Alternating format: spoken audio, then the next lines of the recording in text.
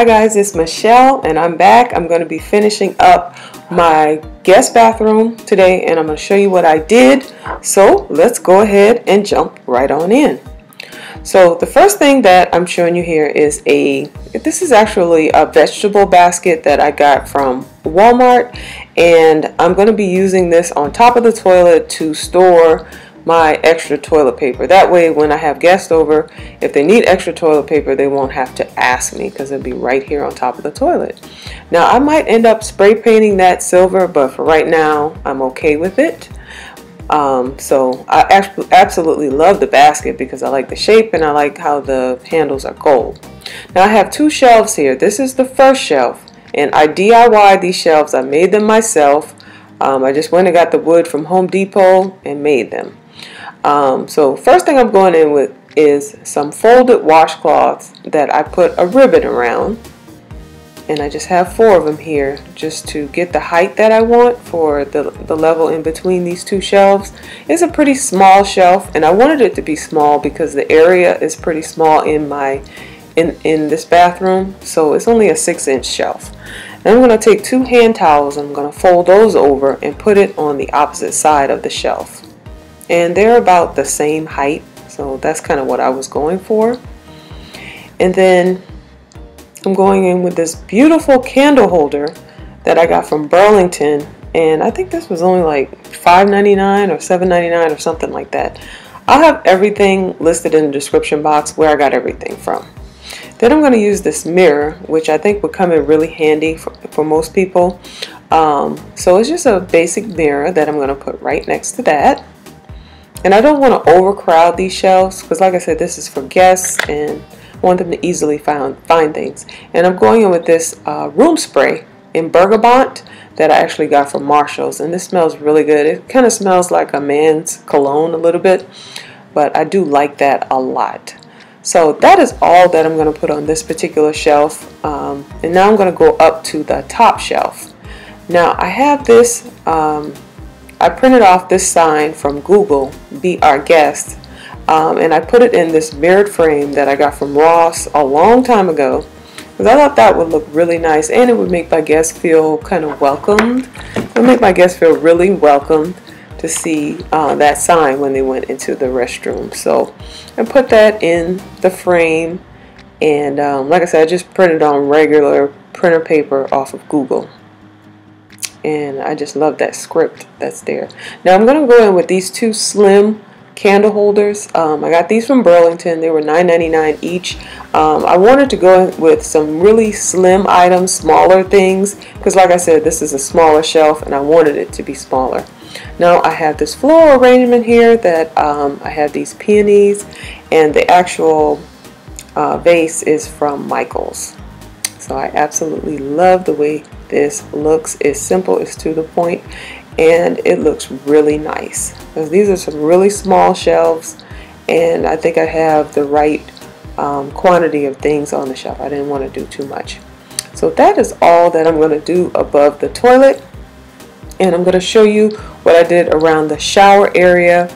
Now I showed you the other part of the sink area of this bathroom last week so uh, if you didn't see that video, I'll definitely have a link below. Um, or you can also go back to the playlist on uh, on my channel to see all the bathroom videos. So I absolutely love the way this looks. It looks so feminine, it looks clean, it looks nice. Um, it's just what I was going for.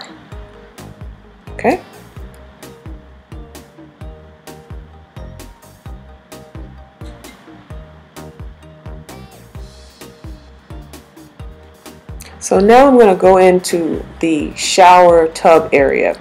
I'm going to be using this tassel, these tassels that I got from Ross. You've seen this in my other bathroom. Um, and I am using two actual curtain curtains as well as a shower curtain. So what you're seeing right now is the actual curtains that I have hung all the way to the ceiling. And I just have a command hook here right on the side of the shower to pull back the curtains using the tassel. Okay. I'm going to show you an overall look of what the whole thing looks like in a minute, but I just want to show you how I'm actually using that tassel to pull back the curtains. Because I don't want these curtains getting in the way if somebody actually has to take a shower. I want it out of the way so that they can just get right to the shower curtain, move the shower curtain over and get right in. So I have that on both sides. Okay.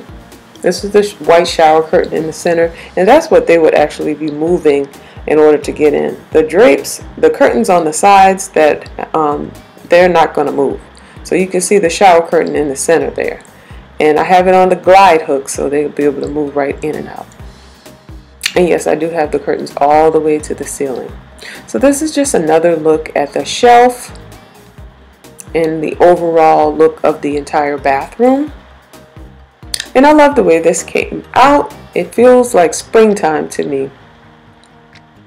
So I hung them all the way to the ceiling like I was telling you. Those are actual curtains and I did extend them by because um, my ceilings are really really tall so I need 108 inch curtains. So I did extend them by adding some more fabric at the bottom and I just I did not sew. I just used um, the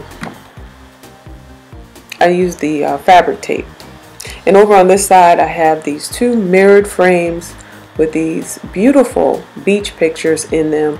I got these from Ross a long time ago um, and I just hung two you know I just hung two white towels right below it.